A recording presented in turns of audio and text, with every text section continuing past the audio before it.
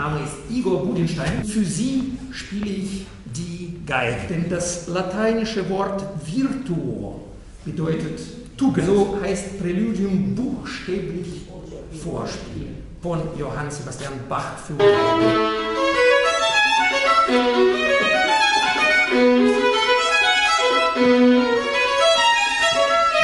Den Stock nannte man Bogen und das Kästchen Violine. Sein Name war Niccolo Paganini. In die Auswahl der Klingeltöne von Nokia-Telefonen geschafft.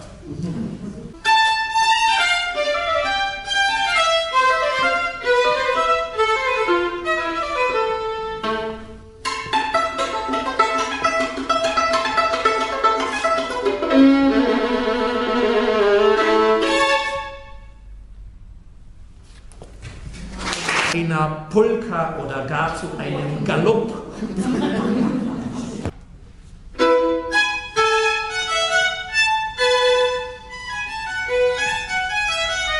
Über das irische Lied Die letzte Rose von Sommer.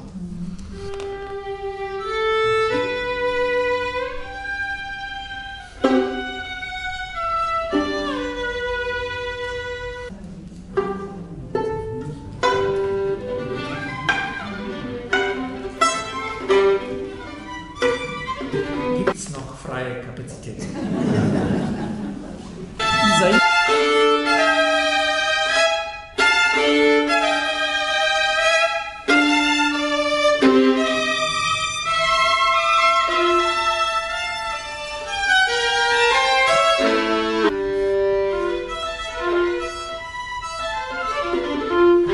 die fünfte Jahreszeit des Konzerts, eine Tango-Etüde von Piazzolla.